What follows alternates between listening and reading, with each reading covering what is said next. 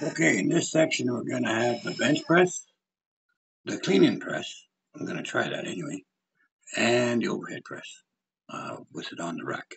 So um, I'm going to try those out, and uh, hopefully we'll do good with those. Uh, but that's going to be in this playlist. Um, yeah, just trying to keep everything organized in my brain. So hopefully it'll work out okay.